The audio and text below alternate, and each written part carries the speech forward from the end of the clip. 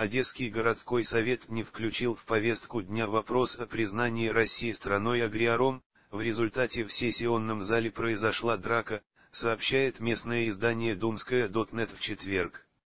В конце января Верховная Рада Украины приняла заявление, в котором Россия называется страной-агриаром, так как Киев считает, что РФ вмешивается в дела Украины и является стороной конфликта в Донбассе.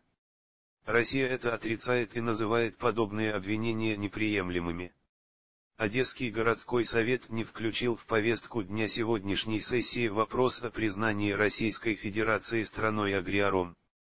Присутствующие в зале активисты Евромайдана устроили по этому поводу потасовку, попытавшись надеть мусорные пакеты на головы некоторых депутатов, но были выдворены охраной мэрии, сообщает издание.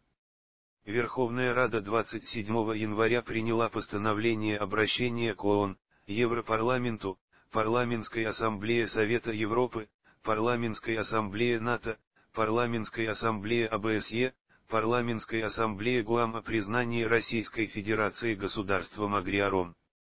После чего аналогичное решение приняли, в частности, Киевский горсовет, Мариупольский горсовет, Полтавский облсовет. При этом Горсовет Харькова несколько раз отказывался признавать Россию страной-агриаром, сделал это лишь с четвертой попытки. Мэр города Геннадий Кернес заявлял, что Харьков является приграничным городом, у которого много связей с Россией, и он против, чтобы в зале заседаний Горсовета звучали политические вопросы.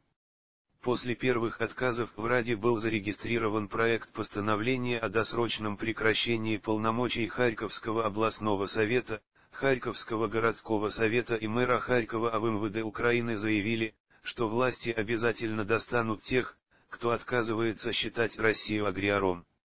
В конце июня многим депутатам Харькова прямо на очередной сессии Горсовета, где они в очередной раз отказались признавать РФ страной агриаром, вручили повестки в военкомат. Харьковский облсовет поддержал постановление Рады также после нескольких безрезультатных попыток.